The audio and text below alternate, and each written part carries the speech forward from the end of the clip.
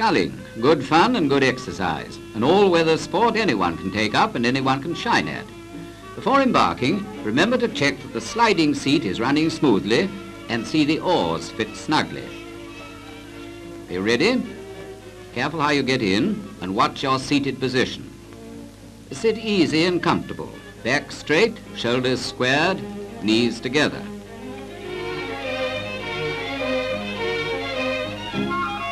And here's the right rowing action. The big thing to aim at is a smooth, fluid stroke. The quickest way to disaster is to tug and jerk. Doesn't look so nice either. Use the fingers only to grip the oar. Thumbs should be pressed against the rubber end. And notice the rolling action of the hand. In feathering, see that the blade turns easily, not too far out of the water.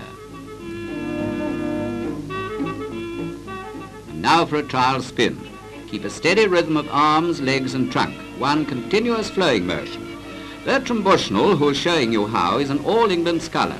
And when you're this good, you may not earn a sculling blue, but you'll certainly never get the blues sculling.